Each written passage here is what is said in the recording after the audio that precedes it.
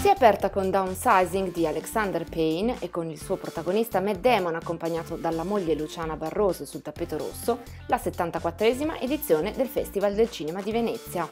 Sul red carpet come sempre è stata una vera gara di sensualità a partire dalla coppia di neosposi Bianca Balti e Matthew McRae che hanno regalato un romantico siparietto con tanto di bacio e carezze un po' osé. La più coraggiosa? Desireno Ferini in pizzo con schiena nuda e un gioco vedo non vedo molto sexy.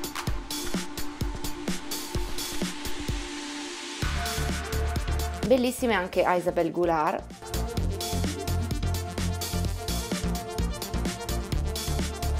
Eva Riccobono, Jasmine Trinca, Daniela Virgilio. E Francesca Cavallin. Greta Scarano in rosso, mentre in bianco hanno sfilato Kirsten Wiig e Bianca Balti.